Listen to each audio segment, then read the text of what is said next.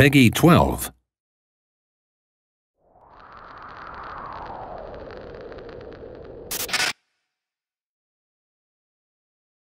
この新しい世界なら何かになれると思っていたこの荘園の世界なら強さを証明できると思っていたこの鋼鉄の世界なら誰かを守れると思っていた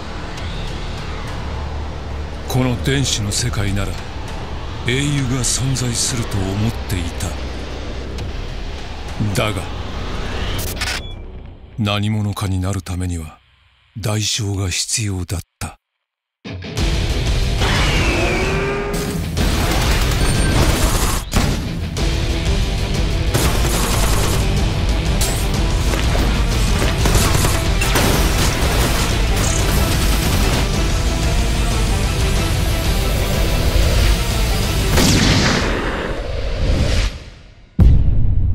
ソードアートオンラインフェイタルバレット。